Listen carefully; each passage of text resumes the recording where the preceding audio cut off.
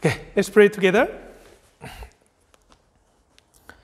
Our Father in heaven, when we were sinners and when we were living without any hope, you came all the way from heaven to save us. And by the precious blood of Jesus Christ, now we have a hope of joining you in eternal kingdom in heaven. So, Lord, thank you so much for saving us and loving us. And you are guiding us all the time until we reach the heaven. And Lord, even though we suffer sometimes in this world, even during that time, we know that it is your will that we will endure all this hardship and we will grow. And today we are here again to listen to your word so that we can grow as Christian, as your child. So help us to understand your will in our life and encourage us to do your will while we are waiting for Jesus to come again. So, Lord, please be with us and help us and strengthen us. So, until we finish, I commit the rest of time unto your mighty hand. In Jesus' name, I pray. Amen. Okay, let's turn to uh, Acts chapter 20, verse 24. Acts chapter 20, verse 24. Acts chapter 20, verse 24. Let's read it together. But none of these things move me, nor do I count my life dear to myself, so that I may finish my race with joy, and the ministry which I received from the Lord Jesus to testify to the gospel of the grace of God. As you know, Apostle Paul preached the gospel for more than 30 years, and finally he was beheaded in Rome for the sake of the gospel. And he is the one who sacrificed his life to preach the gospel. I would say that his entire life was devoted to the preaching of the gospel. So let me think about, let's think about the gospel today. What is the gospel and, um, you know, how we should live as Christian for the gospel. In original Greek language, the gospel is euangelion, euangelion, and it is basically just uh, means good news. So you, suppose you have a battle in the, you know, you had a war, and then when you have a victory. The messenger comes and declare that, oh, we have a victory. That, that is good news, right? That is euangelion. Euangelion, the Greek word, good news. And from that word, euangelion, we have the English word evangelize. Actually, evangelize, you know, preaching the gospel or evangelize, the same meaning. So, the gospel originally it means the good news I think it is um, it, it makes sense because uh, what Jesus has done is he got the victory over death, he got victory over sin, he got victory over Satan, right? So this is good news because um, all the sinners are in chains um, because we are we were the slaves of sin and death before. So here in Acts chapter 20, verse 24, um, actually, all the pastors and evangelists, when we were appointed as uh, evangelists, we get this scripture on the frame. We, we receive it from the church. I have one in my house. So this shows that, um, you know, how much Apostle Paul sacrificed himself to preach the gospel. He says, None of these things move me. What are these things? In verse 23 at the end, chains and tribulation await me. He knew that when he goes to Rome, chains and tribulation awaits him. But he said, It doesn't matter. I don't care, right? None of these things move me, nor do I count my life dear to myself. My life is not important. My life, my own life, is nothing compared to the gospel I'm preaching. That's what he says. So he says, uh, he has a ministry which he received from the Lord Jesus. What is the ministry? To testify to the gospel of the grace of God. So let's think about this. If you really want to live a good Christian life, focus on one thing the gospel. I believe the reason why God uses our church is because we are really focusing on the gospel and preaching the gospel all the time. When I was in America, there are many Korean churches, and uh, their focus is not preaching the gospel, not our church, but other churches. Uh, you know, if you go to the, another country, it's not so easy to meet other Koreans, right? So they come to the church. Even the Buddhists, they come to the church. Why? For business, number one. You have a business, maybe you need the Korean customers, business. Secondly, you know, for the marriage of your children. you want your children to marry another Korean, not American, right? And church is the best place to meet these nice uh, young people, right? So even the Buddhist, you know, these people who used to go to the temple in Korea, when they go to America, they come to the church for business and for their children's marriage. And that's why know, the churches is not so powerful. They grow actually, but a lot of problems, right? As you see. Um, I know one, one uh, brother who used to, he, he is um, like an oriental doctor, like acupuncture and all this thing. And he got saved uh, through one of our seminar but he was running his business and he used to go to one church with 1,500 members, big church, Korean church. And he couldn't come to our church because he knew that if he changes churches, then he would lose all his customers. So he just kept going to the old church, the church he used to go. And one day, he made a big mistake.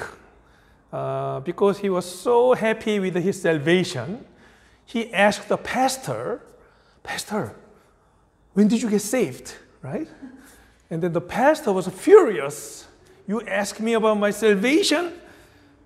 And he didn't know why the pastor was so angry. And then he made another mistake. He asked another elder, Elder, when did you get saved? I just got saved like one week ago or some, some, some time ago. And then the elder was also angry. And then he couldn't go to the church anymore. So uh, he, he was joining our church. I said, What happened? And then he said that I asked the pastor and elder about their salvation. And then they really was, uh, they didn't like it, basically. Why this is happening? Because the gospel should be the, the focus of the church. Let me tell you. You know, last three weeks, I think last four weeks in Suwon Church, we were having the, the Grand Bible Seminar online again, and then we had a seminar for youth group, and then last week we had a seminar for the sisters in, during the daytime.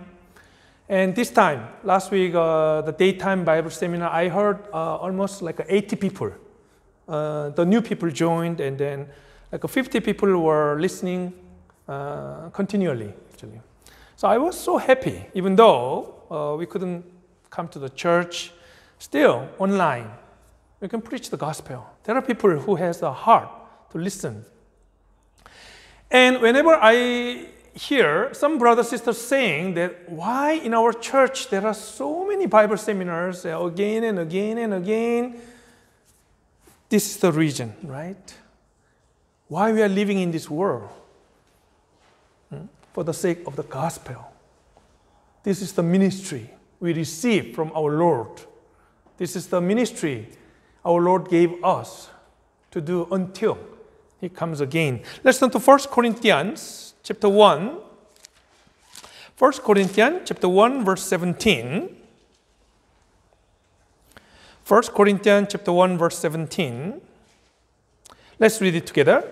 For Christ did not send me to baptize, but to preach the gospel, not with wisdom of words, lest the cross of Christ should be made of no effect. Still, in many churches, uh, baptism, they consider baptism as salvation, which is wrong, actually, right? Baptism is just a ceremony. Baptism is important. Baptism and the Lord's Supper, these two are the ceremonies given uh, by our Lord Jesus Christ. We should practice it. But they are just ceremonies, right? So remember the criminal who died next to Jesus. Did he take a baptism? The criminal who died next to Jesus. He was hanging on the cross. Uh, he couldn't take the baptism, but Jesus said, Today you will be with me in paradise. So we know that he went to heaven, right?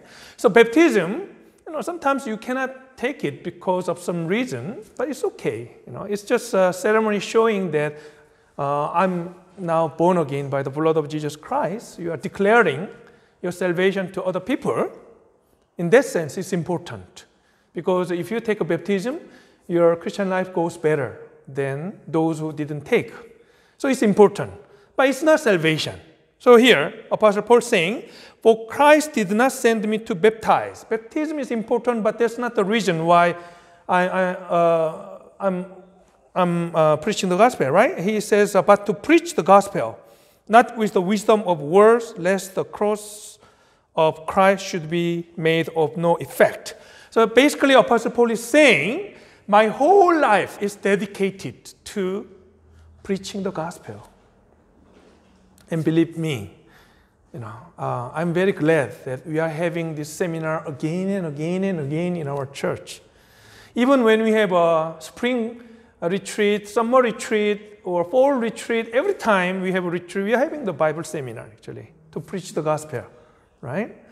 And some brothers, sisters saying that, oh, the same thing again and again and again. Yes, actually. That's okay. Because Jesus said, one soul is more valuable than the whole world. If one soul is saved through the seminar or through the retreat, it's worth it, right? And when we go to heaven, Jesus would say, Well done, well done. So having Bible seminar again and again, I think that's the strength of our church. And during this uh, time, the difficult time with the corona, we still, we still uh, preaching the gospel all the time. And that is the reason why we exist, right? Why we are living in this world. So, what is the gospel? What is the gospel?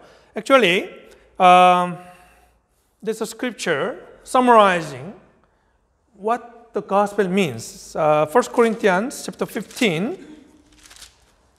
1 Corinthians chapter 15. verse 1 to 4.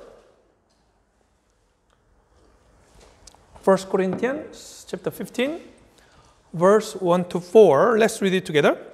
Moreover, brethren, I declare to you the gospel which I preached to you, which also you received, and in which you stand, by which also you are saved, if you hold fast that word which I preached to you unless you believed in vain. For I delivered to you first of all that which I also received, that Christ died for our sins according to the Scriptures, and that he was buried, and that he rose again the third day according to the Scriptures. So Apostle Paul is saying in verse 1 Moreover, brethren, I declare to you the gospel which I preached to you which also you received and in which you stand. So he is explaining the gospel I preached to you. In verse 2, by which also you are saved. You are saved by the, this gospel, this good news, right? This good news. What is this good news? Verse 3 For I delivered to you, first of all, that which I also received, that Christ died for our sins Basically, this is the good news, right? Why people go to hell? Because of their sins. We cannot wash our sins with the soap or with our good work. Nothing works except the blood of Jesus Christ. This is the gospel message, right? Think about the cross. Cross. Apostle Paul always had this cross as the center of his ministry. Cross. Do you see the cross where Jesus was hanging? The cross. What does cross mean to you? I was thinking about cross this morning, and then I was thinking that cross means the love, right? That shows that how much God loves us, right? The cross means that Jesus, He loves us so much that He said, I will die for you, right? I will take the, all the punishment and all this uh, guilt and all this penalty for your sins, and I will die on the cross. So, cross means love. And secondly, cross means obedience because Jesus, he didn't want to take the cup. So he was praying to Father, Father, if possible, right? He didn't want, want to take that cup, the cup of suffering, death, but not by my will, but by your will. And he obeyed, right? Cross means obedience, actually, obedience.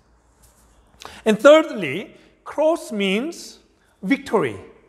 Because when Jesus died on the cross and when he resurrected the third day, he crushed the head of Satan.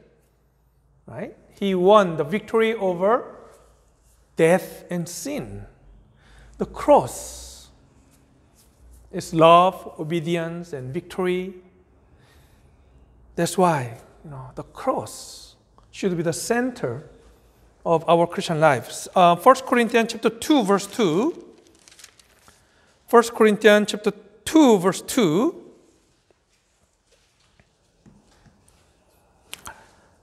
Let's read it together.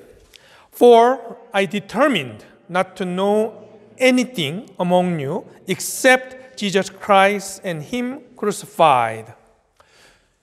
You want to be successful in your life? Then just focus on one thing the cross, right? So it, this is what Apostle Paul said. I determined, I made a decision not to know anything. You know, he, he didn't care about you know, money or how big house he has or the reputation from the people or whatever, right? He didn't care about anything else but, but Jesus Christ and Him crucified. That's why he was so effective. His ministry lasted for almost 30 years, and you know how many churches he planted, I think when we go to heaven, we have to thank Apostle Paul because of his sacrifice and his, uh, his hard work. The gospel came down to us, actually, right? And his secret of uh, successful Christian life is just focusing on him, Jesus, and him crucified. And that is why God used him. Now, many times we are distracted these days, especially in Korea, for example, the Satan's tactic is distracting the Christians so that we can we cannot focus on Jesus only, right? We are distracted by many things. We have to we have to care about many other things than this cross, right? Sometimes we compare with uh, ourselves with others, like other neighbors and or our friends or coworkers, and we see that how well you know they are doing, and then sometimes we pity ourselves, not thinking about the eternal blessing God promised. This is the uh, secret. Okay, we have to focus only on the cross, Jesus Christ and Him crucified. So, regarding the gospel, regarding the gospel, we have to remember you know, what Jesus has done for us all the time. Do you know in, in Revelation? Revelation is revelation of Jesus Christ, right? What he is planning to do at the end of the world. And there, again and again, Jesus uh, is described as the Lamb, Lamb, right? Let's turn to Revelation chapter 5, verse 6. Revelation chapter 5, verse 6.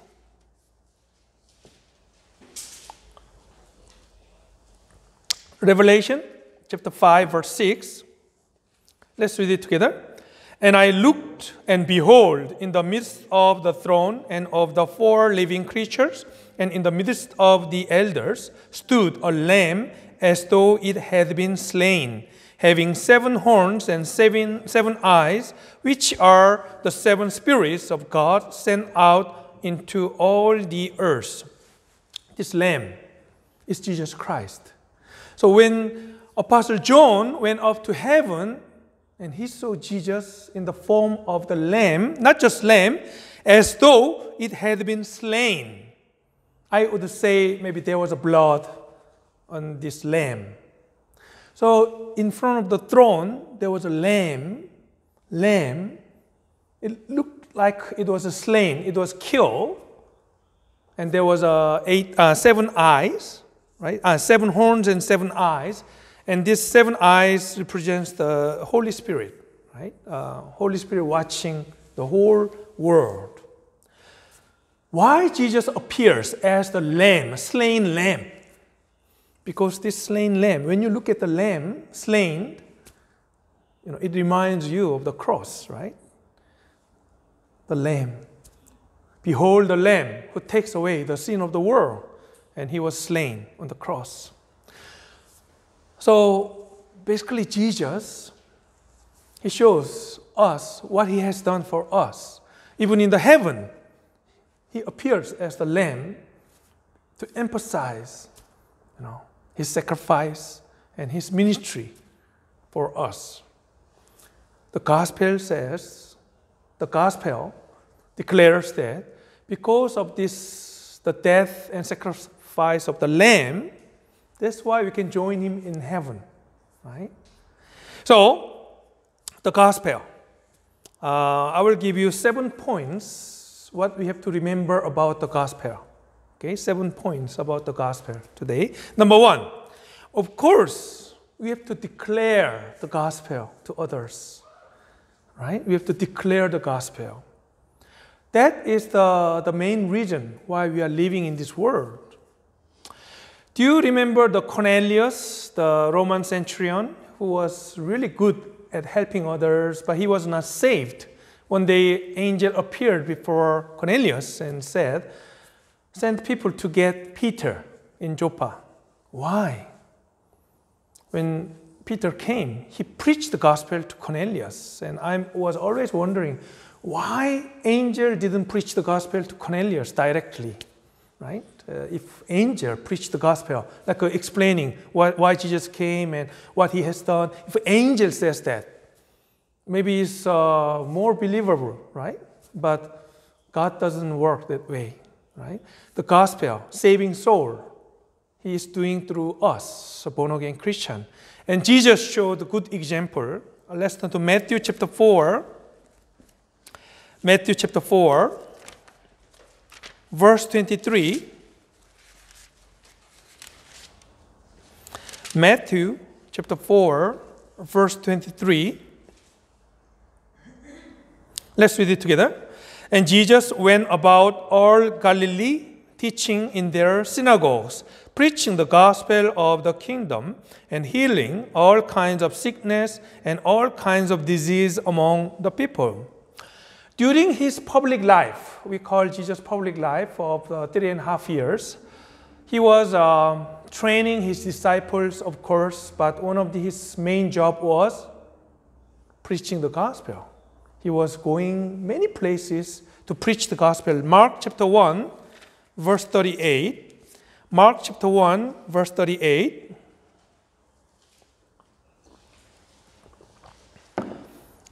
Mark chapter 1, verse 38. Let's read it together.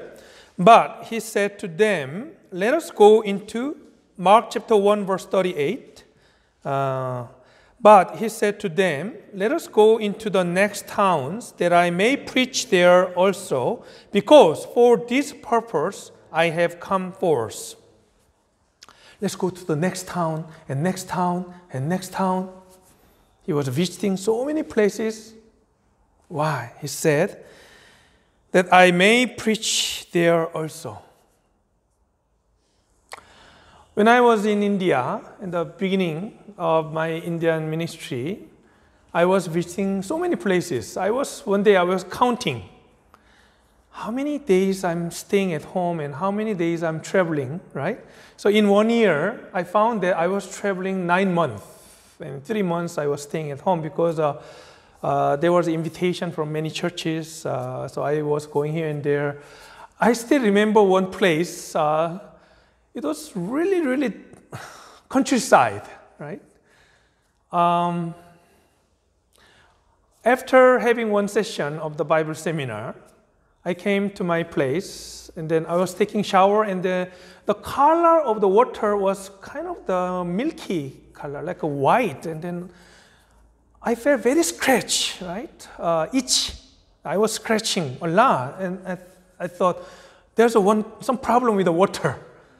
And I was thinking that, okay, what kind of water they will use to cook? Because I was thinking, will I drink this water? so next morning, I went out early to see how they cook, for example, rice, right? And I found that uh, they have some kind of, um, you know, when you buy oil, some big tin can is there. So in some container, they put some like uh, the um, not charcoal when you burn the wood. What, what is it? I just forgot the word. After you burn the wood, right? The, the leftover, the black thing, right? And then they put the sand, and then they put, eh, basically they, they made us some temp, uh, temporary uh, water purifier. and then they, they put the water, this milky one, and then somehow it became a little bit clearer, you know, after going through all this sand and all these things. And then they, they cooked rice for me. And then I was thinking, should I eat or not? But you know that number one principle for missionary, eat whatever is given, okay? That's number one. You have to eat whatever they give you. If not, they feel bad, and then you cannot preach the gospel. So I prayed, you know, God, please help me because I don't want to be sick here. Uh, food is a big problem, right? Uh, when you go on a, another place. The, um, um, Korea is very hygienic, so you don't have to worry about the food, but many places is a big problem. Anyway, um, going to many places, I saw so many people, and then I still remember many places, and they were so eager to listen to the gospel, actually, right? Maybe Jesus, when he was going here and there, uh, of course he was tired, but one of the reasons why he visited many places is uh, people are there who are waiting for him to listen to the gospel message, right? So we have to go to the end of the world, actually. And that's why we are sending so many missionaries uh, I'm praying for our one of the missionary in Brazil these days because Brazil, the coronavirus is becoming so bad there, right? Um, so there are many missionaries. We have to remember them and pray for them. So this is what Jesus did. Let's go into the next towns and that I may preach there also, because for this purpose I have come forth. We call Jesus Lord, and this is what he did always visiting here and there, preaching the gospel. And we, we know, you know, Apostle Paul and all these apostles, they, they were always preaching the gospel. And most of them were martyred, killed during while they were preaching the gospel. And we have to think about ourselves, what we are doing, you know, right? We only care for our own family or you know, our own economic condition or our health we have to focus on the gospel. Number two, um, these days, people, you know, they have so many false teachings and false news, and then even the they they came up with all these theories which is against the gospel, right? Uh, so we have to defend the gospel. Defend. Let's turn to Philippians chapter one. Philippians. Ephesians and Philippians, chapter 1.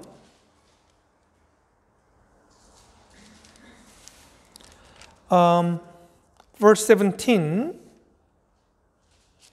17. Verse 17. Chapter 1, verse 17. Let's read it together. But the letter out of love, knowing that I am appointed for the defense of the gospel.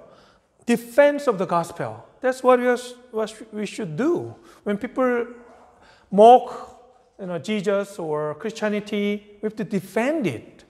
You know, don't be silent, right?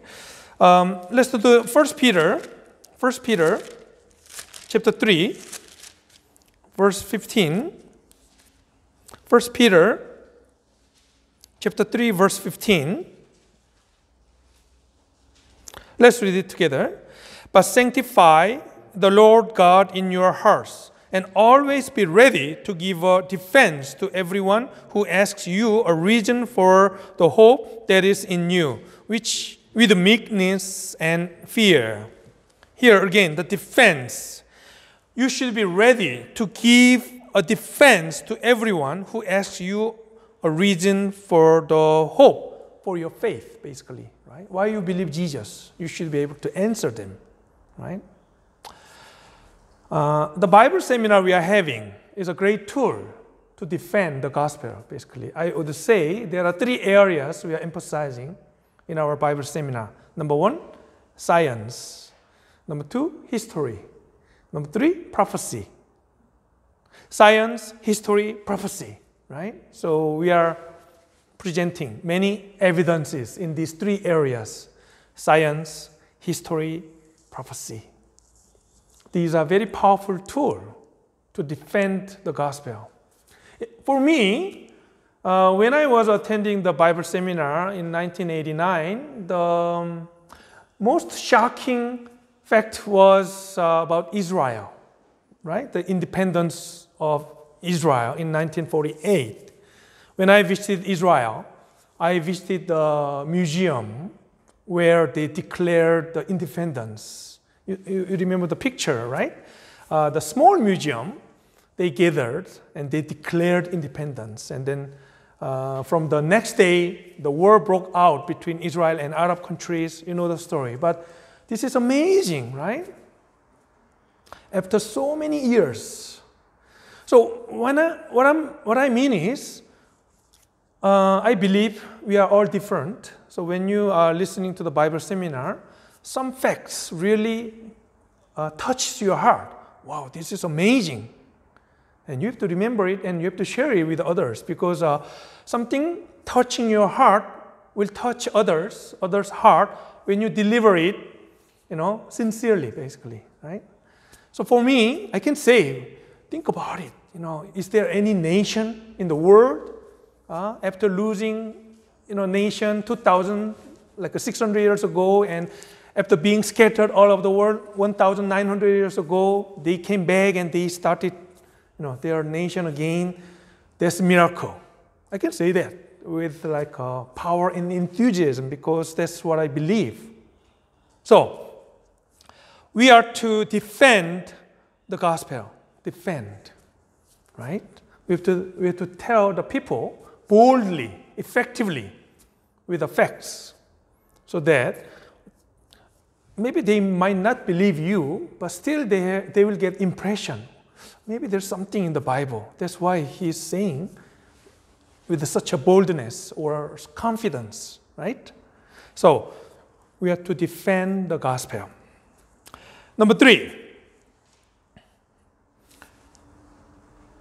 we have to live our life worthy of the gospel. We are preaching the gospel with our life, not with our word, many times. Okay? Let's turn to Philippians chapter 1, verse 27. Philippians chapter 1, verse 27.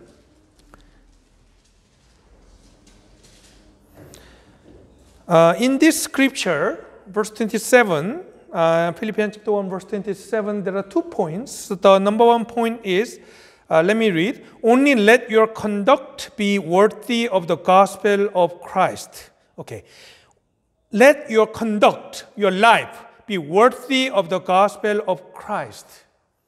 We say we are children of God, but if our life doesn't reflect it, people do not listen to us.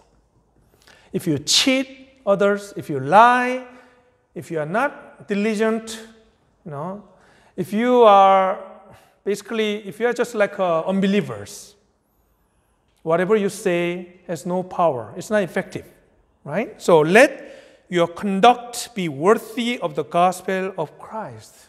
That's the first point. No. We should be the light and salt of this world. Light and salt.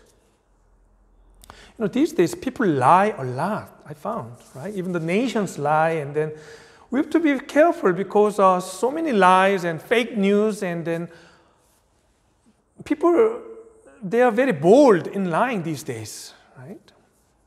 As Christians, sometimes if it means that we are losing something, if it causes some loss in, on our side, we should be honest, right? We should be, um, we should be a good example to other people, basically, right? People are cheating in their work.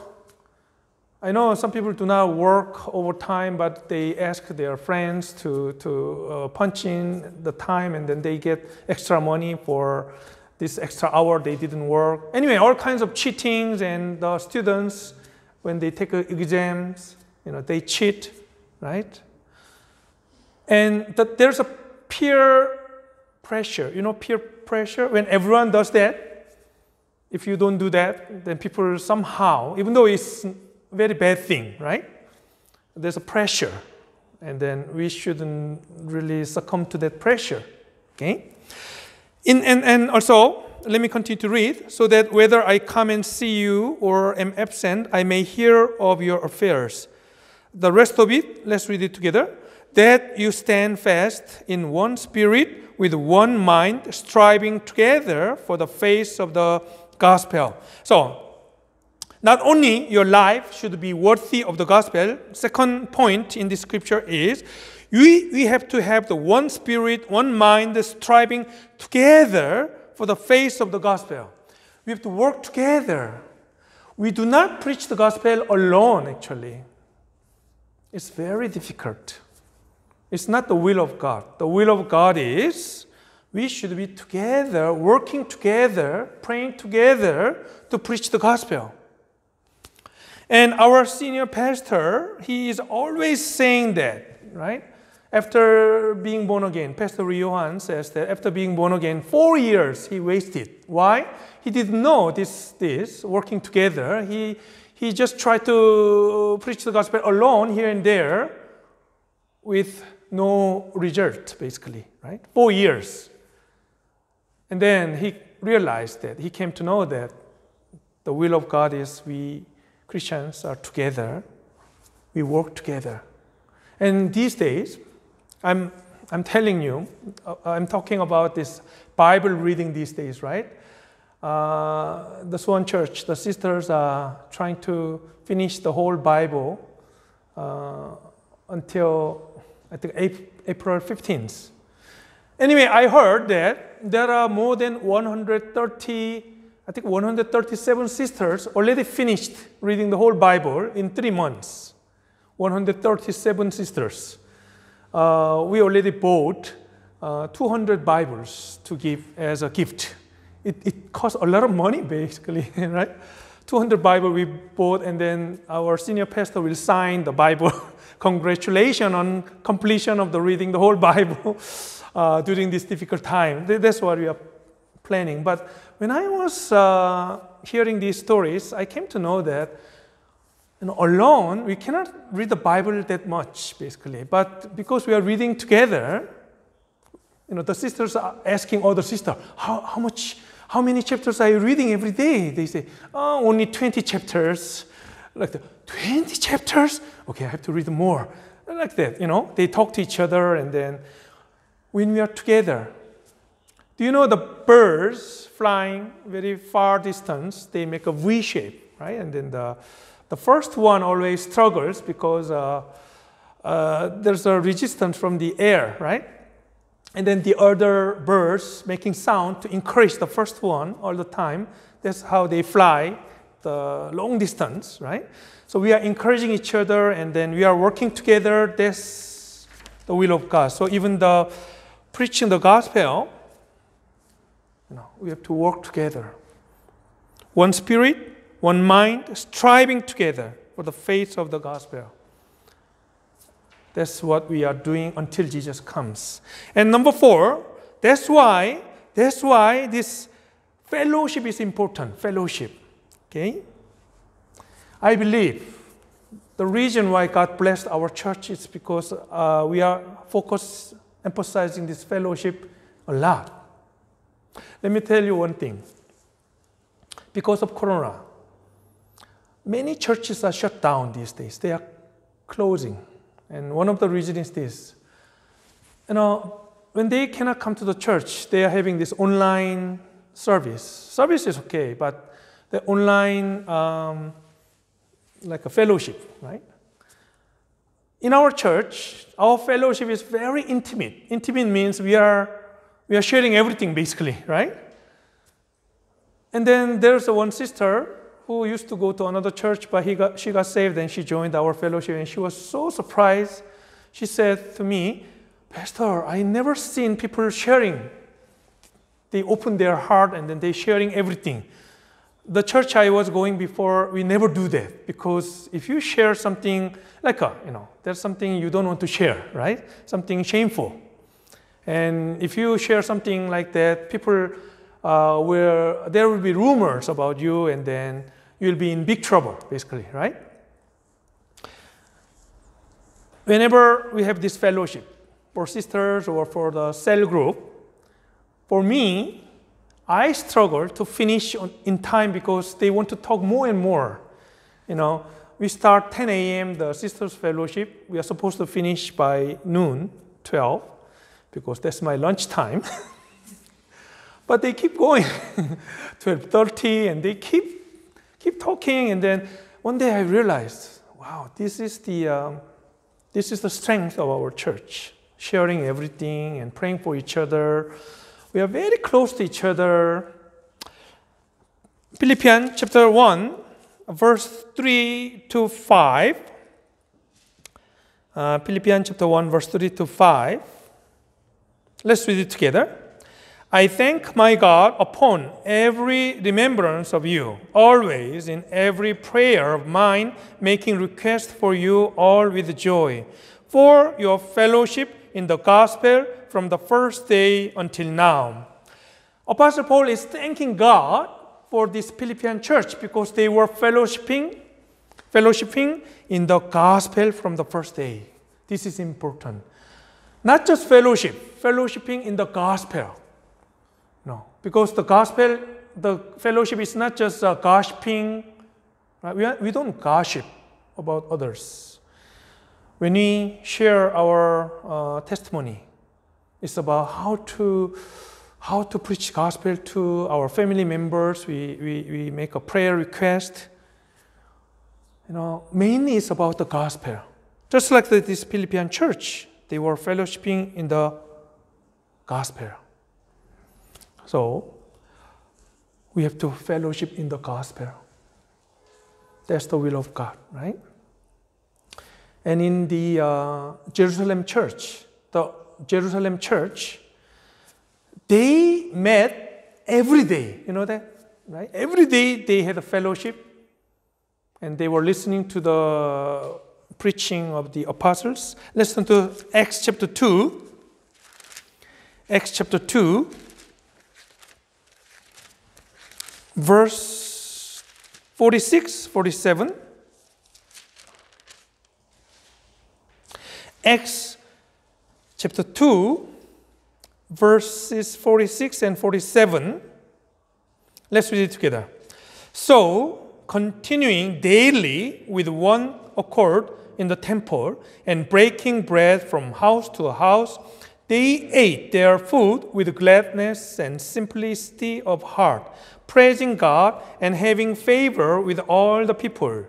And the Lord added to the church daily those who were being saved. Yes, they continued daily with one accord, with one heart. What, what they continue? Fellowshipping, right? They broke bread, meaning they shared the food. They're visiting house to house, always, you know, gathering together. And what's the result? Verse 47, the end of the 47. And the Lord added to the church daily those who are being saved. Every day, some people get saved. Every day. So, this is why we have to fellowship in the gospel. And this is true actually. When we Christians gather together, naturally we talk about the gospel, right? How to preach the gospel. Right? And uh, that's why we have to gather more often to fellowship in Christ. And also, regarding the gospel, we have to suffer for the gospel. Okay? Suffer. Let's turn to 2 Timothy chapter 1 verse 8. 2 Timothy chapter 1 verse 8.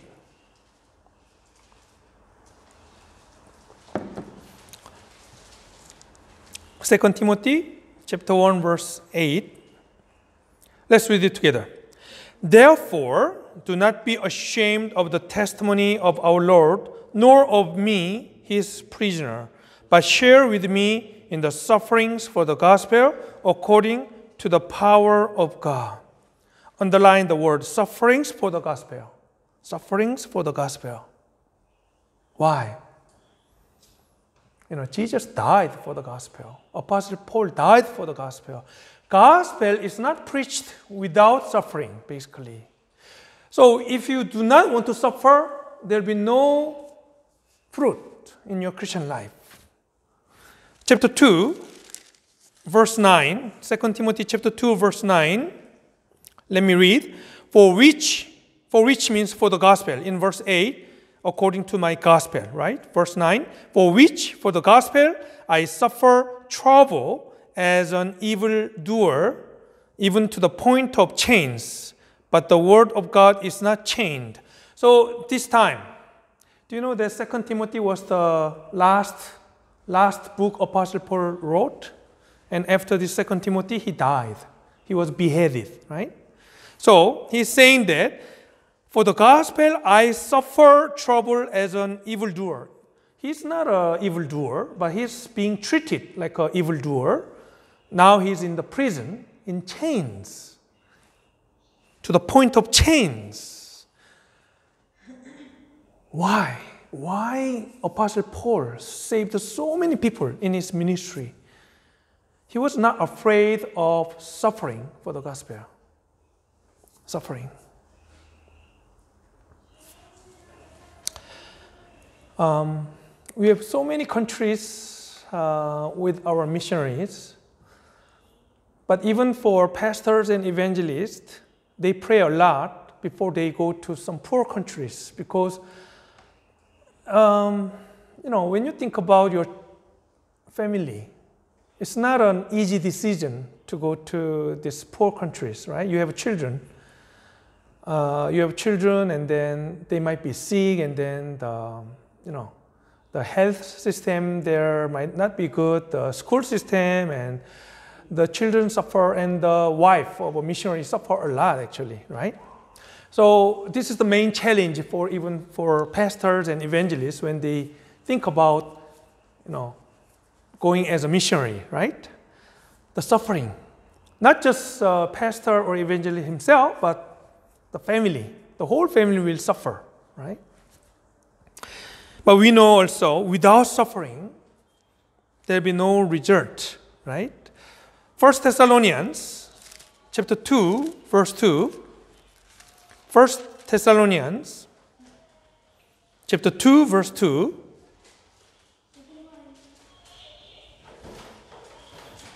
Yeah. 1 Thessalonians chapter 2 verse 2. Let's read it together.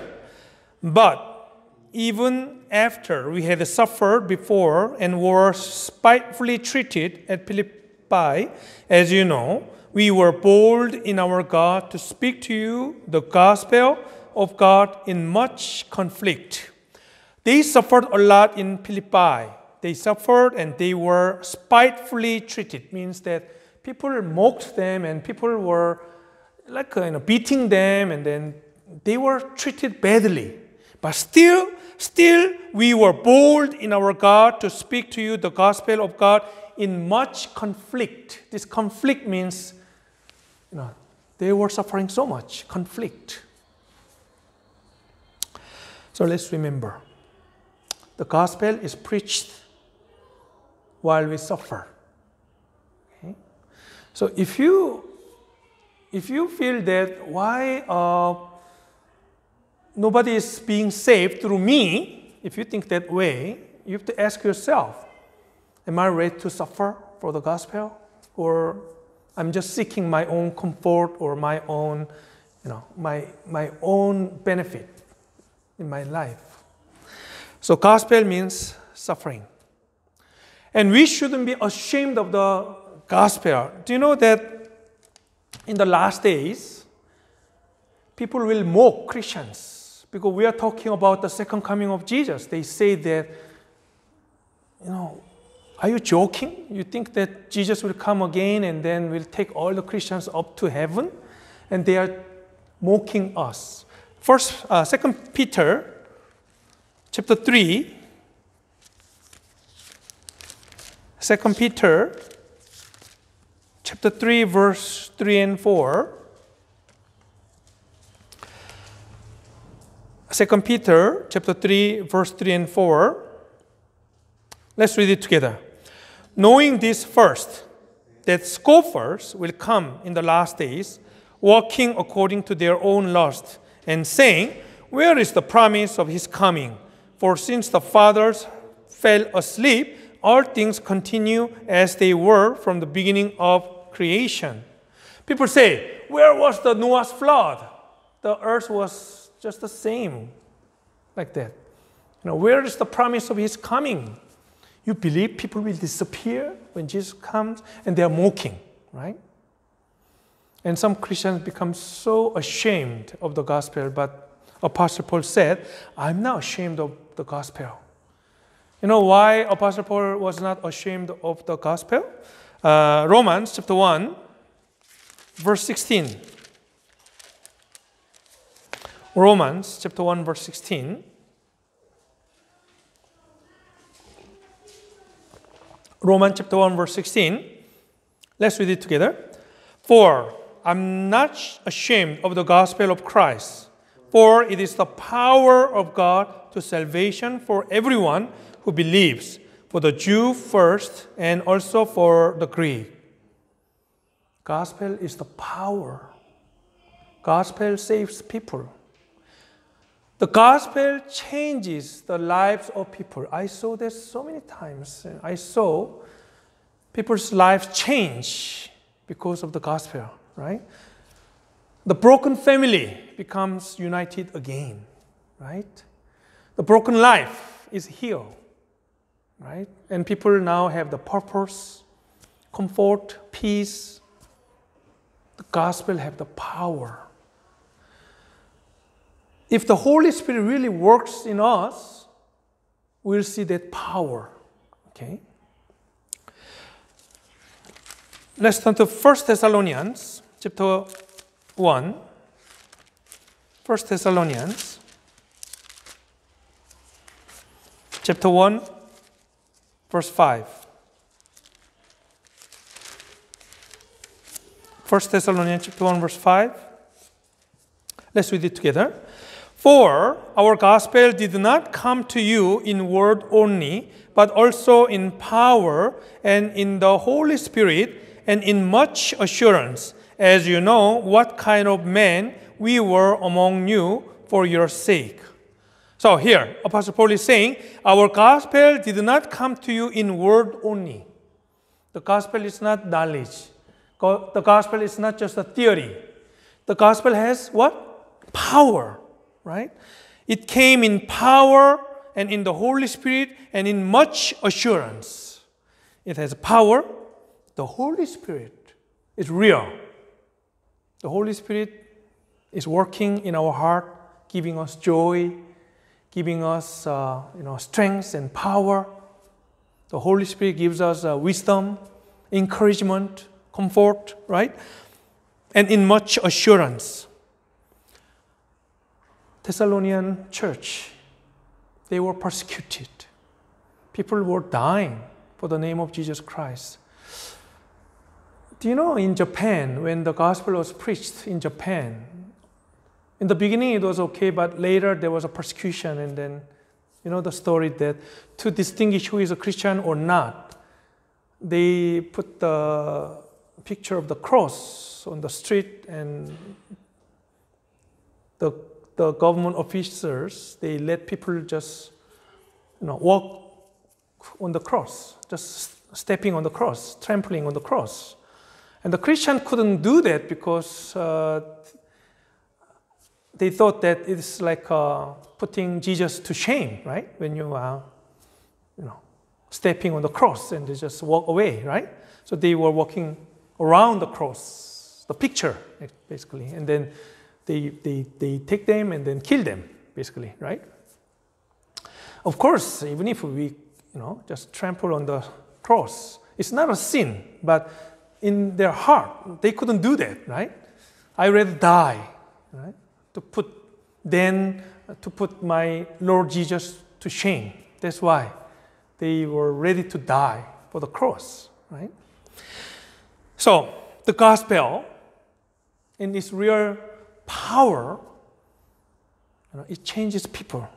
So these Thessalonian brethren, they were ready to die for the, for the Lord, and they were waiting for the second coming of Jesus. Right? That's why uh, First Thessalonians, Second Thessalonians, when you read it, there's many stories about the second coming of Jesus because of their condition. They're waiting for Jesus to come again because that was their comfort. So the gospel changed them, and that news spread whole world. That's why. That's why Apostle Paul was very proud. Verse 8 verse 8. Uh, verse 7 and 8, let me read. So that you became examples to all in Macedonia and Achaia who believe. For from you the word of the Lord has sounded forth, not only in Macedonia and Achaia, but also in every place. Your faith toward God has gone out so that we do not need to say anything. Their story, you know, their faith was spread you know, people were talking about the faith of this Thessalonian church, and it encouraged so many people in Macedonia and Achaia and the whole world, right? The gospel has power. So let's remember the gospel is everything in our life, especially for Apostle Paul, right? That's how he was so successful in his Christian life. First Corinthians chapter 9. 1 Corinthians chapter 9 verse 23. First Corinthians chapter 9 verse 23. Let's read it together.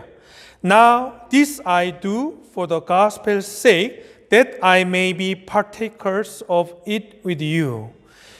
He's doing many things for gospel's sake.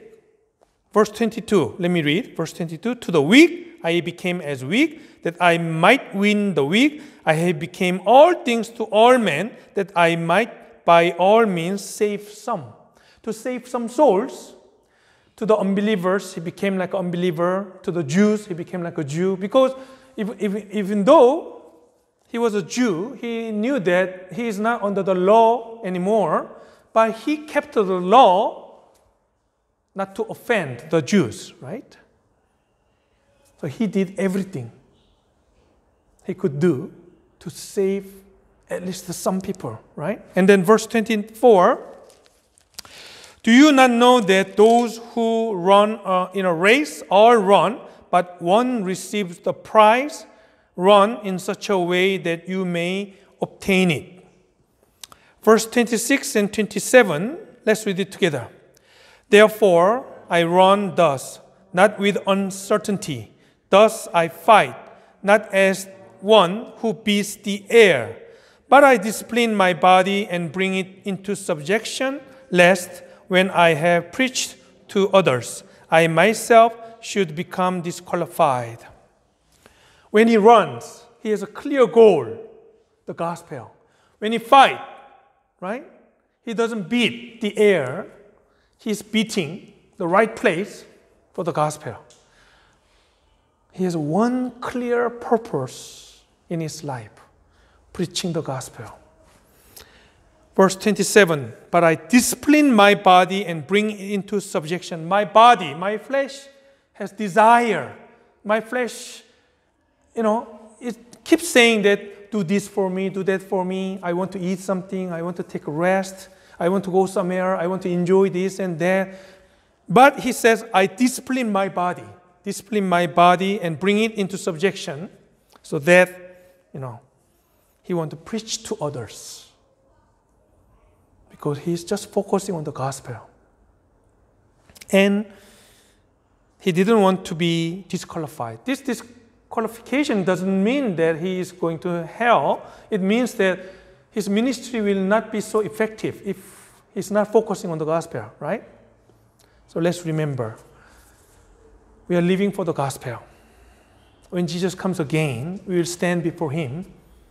And if you sacrifice everything for the gospel, then that time you'll see, you know, you have fulfilled your life very nicely, right?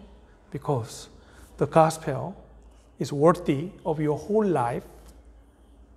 You, know, you can sacrifice everything for the sake of the gospel, just like uh, Apostle Paul. Let's pray together. Heavenly Father, we heard the gospel, the good news from the scripture before when we got saved. We learned that Jesus came to die for us. He shed all of his blood on the cross, saying, It is finished. And now we know our Lord wants us to preach the gospel to all the world because there are so many people perishing without knowing this good news. So, Lord, please change our heart, change our life so that we can live a life worthy of the gospel and we can strive together, work together with one mind, one heart, with one spirit to preach the gospel all over the world. Thank you so much for using our church to bring the gospel to many places in the world. And we need more missionaries and we need to work harder to preach the gospel to more people. So Lord, please help us to focus on the gospel in our life so that we do not waste our time in this world. Thank you so much for this time. In Jesus' name, I pray. Amen.